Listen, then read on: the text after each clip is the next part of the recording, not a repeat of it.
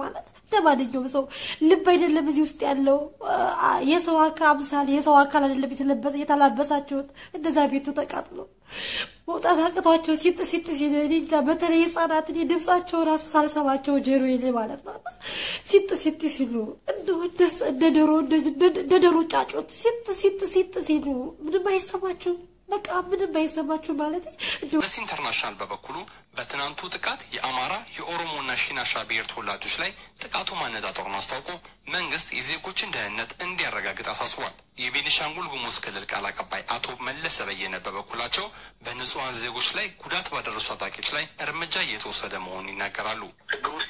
እንዴት ናችሁ? ደህና ናቸው ውድ ተመልካቾቼ፣ ሰላም ነው። እንዴት ናችሁ? ደህና ናቸው? በጣም ደህና ነኝ። ዛሬ ደግሞ መልእክት ነው ይዤላችሁ የመጣሁትኝ ስደት ላይ የሆናችሁ ማንኛችሁም እንኳን እንድታለቅሱ በቃ ከእንባችሁ ከአይናችሁ እንባ እንኳን ሊወጣ ማለት ነው።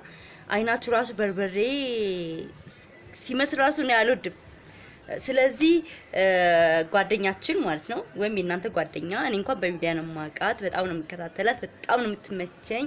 ነገር ግን ኢትዮጵያ ውስጥ የሆነ ነገር በተፈጠረ ቁጥር በቃ እንባዋን መቆጣጠር አትችልም። ሁሌ እያለቀሰች ነው ቪዲዮ የምትሰራው። ይቺ ልጅ ማናት ካላችሁኝ ደግሞ ኢትዮ ሳባ ትባላለች። ሳባ ትባላለች። እንግዲህ እባክሽ እህቴ እኔ አንቺን እያየሁ መቆጣጠር አልችልም። እውነት ለመናገር በጣም ነው በቃ የምታሳዝኝ። ያም ማለት ምንድን ነው?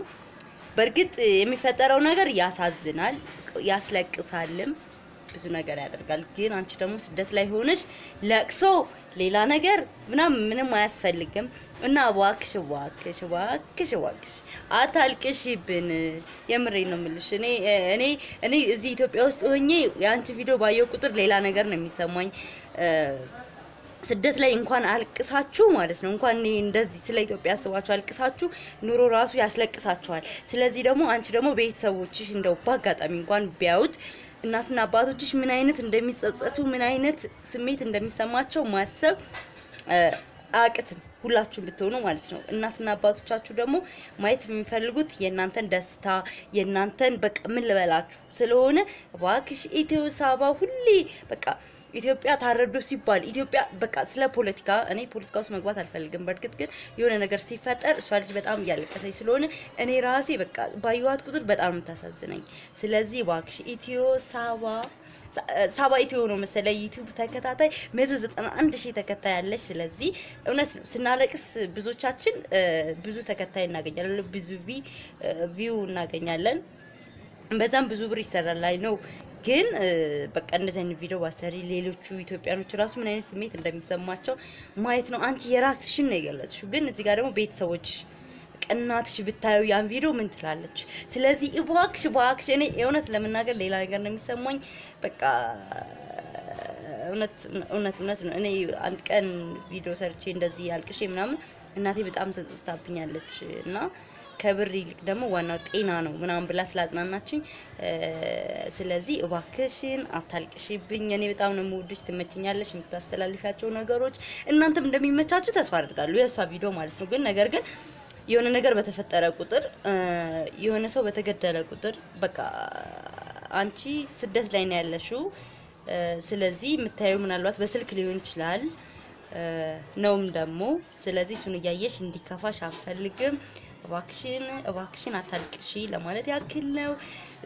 ማለት ከአንዴም ሁለት ሶስት ጊዜ ሲደጋገምብኝ ነው። ዛሬም ከሶስት ሰዓት በፊት የለቀቃችሁ ቪዲዮ አለ ማለት ነው። ስለዚህ ለማንኛውም አታልቅሺ የኔ እናት፣ ምንም አይንካሽ አንቺንም።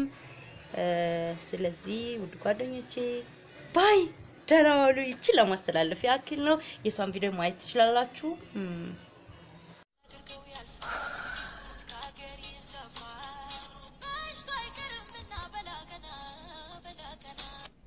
ማለት ነው። ግን እናቱ ላትመለስ ሄዳለች። የዚህ ልጅ ህፃን የዚህን ህፃን እንባ ማን የሚያብስለት? የዚህን ህፃን የዚህ ልጅ ህፃን እጣ ፈንታ መጨረሻ ላይ ምንድን ነው የሚሆነው? ምንድን ነው የሚሆነው? የዚህ ህፃን ልጅ እጣ ፈንታ ደስተኛ ናችሁ? በዚህ ሁሉ ደስ ይላችኋል? ህፃናትን፣ አዛውንትን፣ ሴቶችን ሰብስባችሁ ስብሰባ አለ ብላችሁ የሰው ልጅ እንዴት ስብሰባ ጠርቶ ህዝብን ይገላል?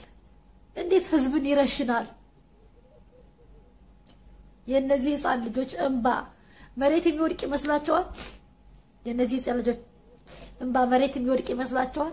የዚህ ሁሉ ንጹሐን ደም መሬት የሚወድቅ ይመስላችኋል? ተሳስታችኋል። በጣም ማለት ነው። የዚህ ሁሉ ህፃናት እንባ፣ የዚህ ሁሉ ምስኪን እንባ፣ የዚህ ሁሉ ምስኪን ደም በደም እንደተጫወታችሁ ሰው መሆናችሁ ሰው ሆናችሁ መፈጠራችሁ እስከሚያስጠላችሁ ድረስ በእናንተ ላይ ደግሞ እግዚአብሔር ምን እንደሚያደርግ ሳይውል ሳያደር ታዩታላችሁ ማለት ነው።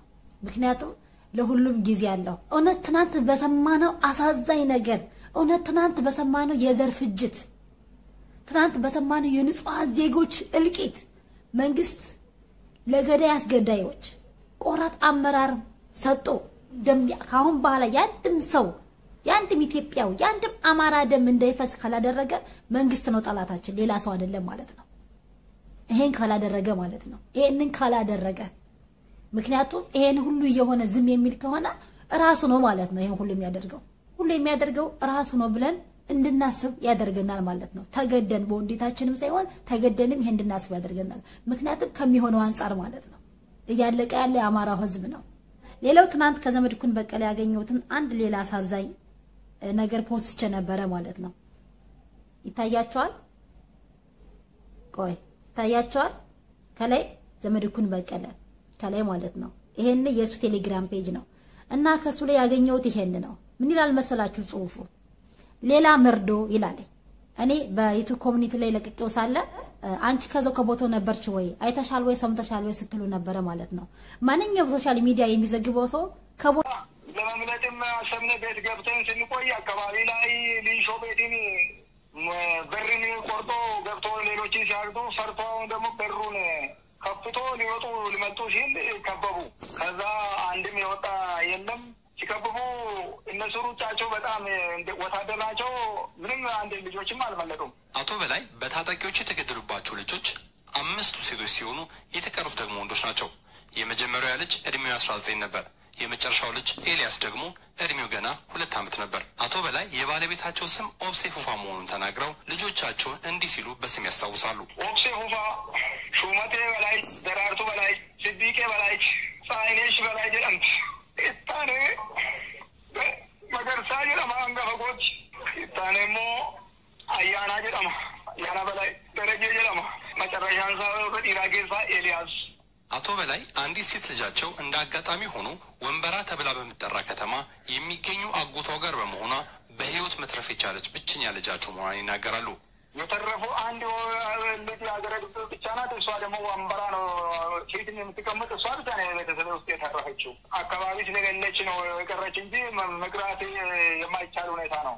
ባለቤቴ በጥይት ዝመቱኝ እሷ የክልልም የፌዴራልም ከፍተኛ አመራር ናቸው የተባሉ በሙሉ የህግ የበላይነትን ጭምር እየተረጋገጠ ነው ያለው እና ሌሎችም እነዚህ አጥፊ ቡድኖች እና እነዚህ ጸረ ሰላም ኃይሎችንም ለአንዴና ለመጨረሻ ጊዜ ለመደምሰስ በሚደረገው ጥረትን ትናንት ችግሩ ከተከሰተ ጊዜ አንስቶ በኩጂ ቀበሌ ቡለን ወረዳ በተደረገው ውጊያ አርባ ሁለት የሚሆኑ የታጠቁ ሽፍታዎች ሙሉ በሙሉ የተደመሰሱበትና እንደዚሁ በርካታ ጦር መሳሪያ ለጥፋት ሲጠቀሙ የነበረው ቀስትም ጨምሮ ስለታም ነገሮች በሙሉ ቁጥጥር ስር የዋሉ እንደሆነና አሁን በዙሪያው ላይም እንደዚሁ ይሄ እርምጃ ተጠናክሮ እየቀጠለ ያለበት ሁኔታዎች አሉ። ጠቅላይ ሚኒስትር አብይ አህመድም የተፈጸመው ኢሰብአዊ ጥቃት እጅግ እንዳሳዘናቸው ገልጸዋል። ጠቅላይ ሚኒስትሩ ዛሬ ጠዋት በትዊተር ገጻቸው ላይ ባሰፈሩ ጽሁፍ ችግሩን ለመፍታት የተደረገው ጥረት የሚፈለገው ውጤት አለማምጣቱን ጠቅሰው የሚፈለገው ለውጥ ለማምጣት በትኩረትና በህብረት እንድንሰራ ጥሪ አቦ በእናታችሁ አዘነ አዝኗል ምናምን እያላችሁ ይሄንን መስማት አንፈልግም። እርምጃ ወሰደ ቆመ ሲባል ብቻ ዜጎችን ታደገ የሚል ብቻ ነው መስማት የምንፈልገው። አዘናዝ ቀርባለሁ ብለዋል። አስር የቤተሰባቸውን አባል በአንድ ጀንበር የተነጠቁት አቶ በላይ ግን ከአሁን በኋላ ህይወትን ዳግም ለመምራት ወደዛች ቀበሌ የመመለስ ሀሳብ ያላቸው አይመስልም። ቡለን ሆስፒታል ውስጥ ነው ያለኝ። ያው በጉዳቴ ከባድ ነው የተጎዳው፣ ግን ህይወቴ አለ። ከዚህ በኋላ እንግዲህ ሰው ቦታው ላይ ሰፍሮ ይኖራል ብዬ ራሴ አልገምትም። ሰው ጠቅላላ ወጥቷል። ንብረትም ደግሞ ተፍስ ነገር ይዞ ወጥቷል። ሰብስቦ ነው የወጡ አሉ። ከዚህ በኋላ ሰው ደግሞ ተመልሶ ይቀመጣል ብዬ እንደ ራሴ አልገምትም። በቤንሻንጉል ጉሙዝ መተክል ዞን በታጣቂዎች ከተፈጸመው ጥቃት ዜና ሳንወጣ ስለተፈጠረው ነገር ተጨማሪ መረጃ ለማግኘት በቦታው የነበሩ የዓይን እማኞችን አነጋግረናል።